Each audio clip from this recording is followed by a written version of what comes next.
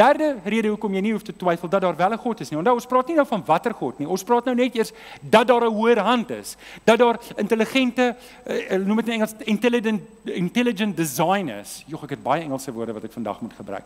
Nommer 3 is waar 'n wet is, is 'n is daar 'n wetgewer. Waar daar 'n wet is, is daar 'n wetgewer. En dit staan op twee bene, punt 3 en punt 4 gaan ons daarna kyk.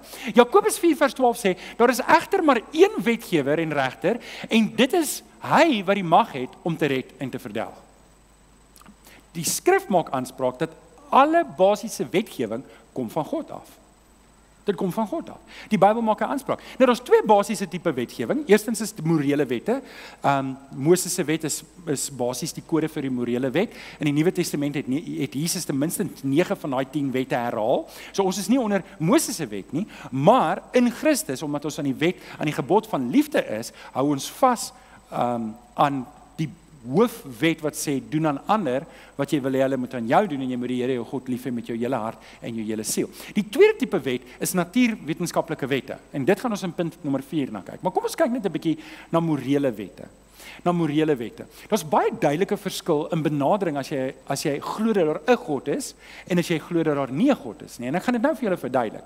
En die gedagte van wat reg en verkeerd is. As jy mooi dink daaroor, wie het besluit wie's wat's reg en wat's verkeerd?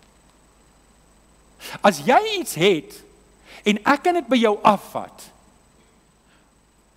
dan is jy mos eintlik verkeerd, nie ek nie. Jy kon nie jou goed verdedig het nie. Jy's 'n swakkeling. Dink mooi daaroor. Jy's 'n swakkeling.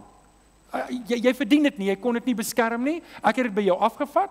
Wel, dis basies wat oorlog is. As jy dink dis verkeerd, wel, dis wat oorlog maar is. Jy het iets ek hou meer daarvan. Ek gaan dit by jou afvat. As jy dit nie kan verdedig nie, dan is dit nou myne. Dis waar al die Midde-Ooste oorlog gaan oor die olie en goeders. Nou, Wanneer ons dink aan wat reg en verkeerd is en ons dink aan wet en orde, as jy dink ons nie 'n God nie. As jy regtig eerlik dink daaroor, dan maak wet en orde nie eintlik sin nie. Dink mooi daaroor, want um Darwin het gesê only the fittest will, only the fittest will survive.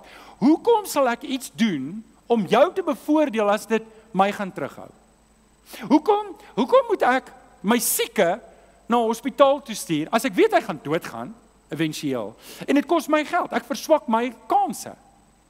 As jy dink aan survival of the fittest. Wat doen wat doen mamma voeltjies met baba voeltjies wat swak is? Hulle gaan dit nie maak nie. Hulle?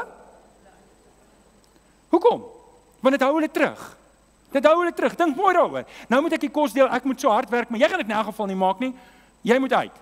Dis hoe dit werk in die natuur. Dit is eintlik verskriklik, maar die mens werk nie so nie. Ons versorg ons siekes. Ons verstandelike gestremdes, ons pas hulle op en ons bou hospitale en gestigte en ons bou skole en ons bou al hierdie goed en ons probeer ons swakkes bewaar. Dis nie kan die mens. Dis nie kan die mens. Nou dag sien ek 'n klomp kraaie, 'n ander kraai aanval. My vrou sê vir my, "Ja, dis 'n swak hy. Hy's besig, hy's siek, hulle gaan hom doodmaak." Sê vir, "Dink net julle ons doen dit. Wie's vanoggend siek? Steek op jou hand." Vang hom. Suurstof dief. Nee, ons is anders. En tog tog dis nie net gelowiges nie. Die mensdom weet daar's 'n reg en daar's 'n verkeerd. Maar dit maak nie sin nie, want hoekom sal ek my kansse op oorlewing verswak omdat ek jou 'n kans wil gee? So, Romeine 2 vers 15 gee die antwoord.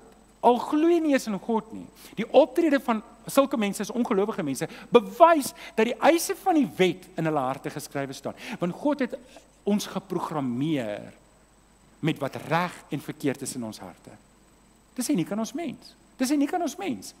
Waar daar 'n wet is, is daar 'n wetgewer.